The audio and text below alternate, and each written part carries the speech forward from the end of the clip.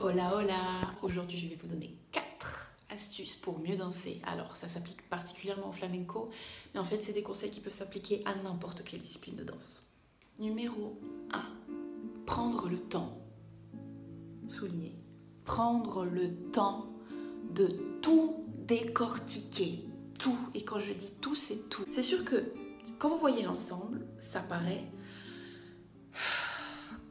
madre mia, comment on va faire? Non, non, non, non, non, non, non. Ça va rentrer là, ça va ressortir directement là. En fait, il faut juste que votre mémoire corporelle, mémoire corporelle, se fasse à l'idée que c'est possible, premièrement, et que à force de répéter le premier pas, le premier pas, le premier pas, puis premier pas et deuxième, premier pas et deuxième, puis premier, deuxième et troisième, ça va venir. En fait, c'est juste, il faut décortiquer le truc, décortiquer le truc. Ne soyez pas ne soyez pas intimidés par ce qui paraît complexe, c'est juste une question de travail.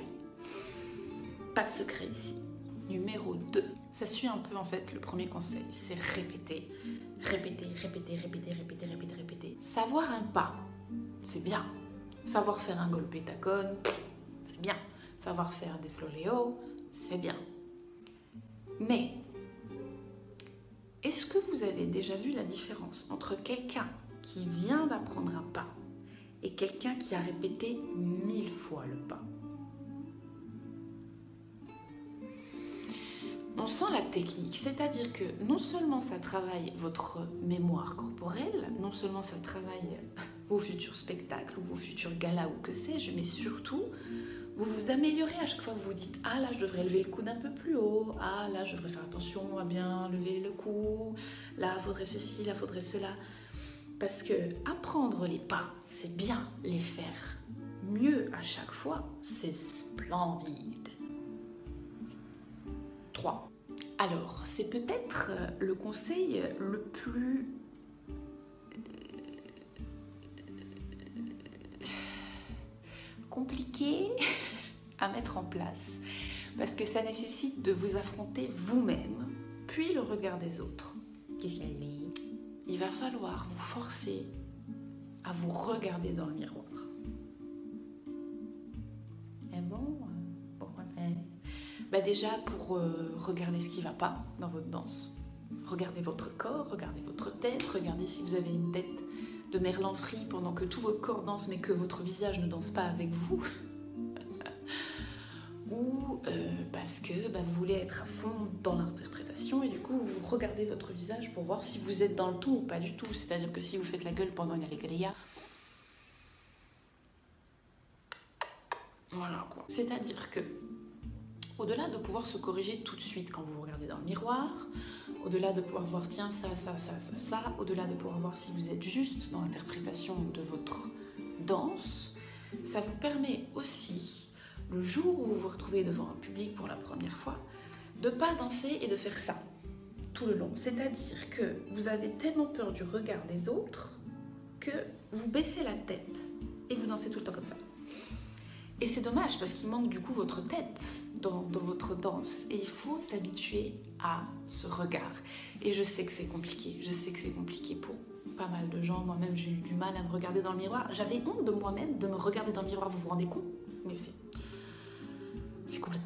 mais c'est un très bon exercice parce que ça vous force à vous regarder, ça vous force à vous affronter vous-même et ça vous force à vous corriger. Donc c'est tout bénef en fait. Il faut juste vraiment oser. Et je sais que c'est compliqué et je sais que c'est plus facile de dire que de faire.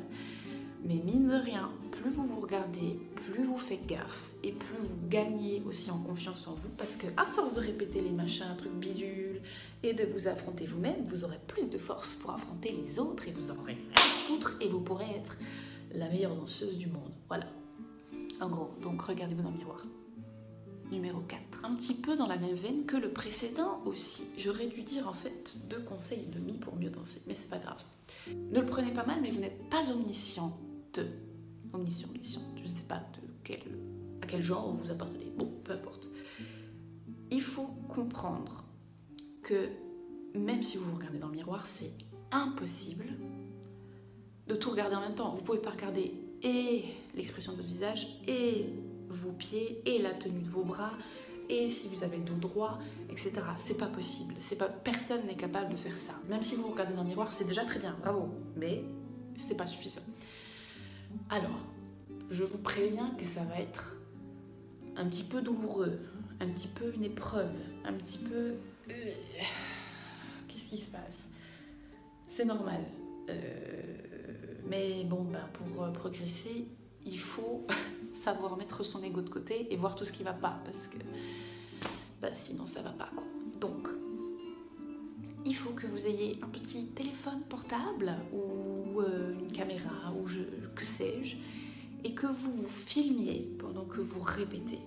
C'est-à-dire, vous pouvez faire de la technique, vous pouvez faire de la choré, vous pouvez faire gna gna gna. Filmez-vous. Je vous en conjure, filmez-vous.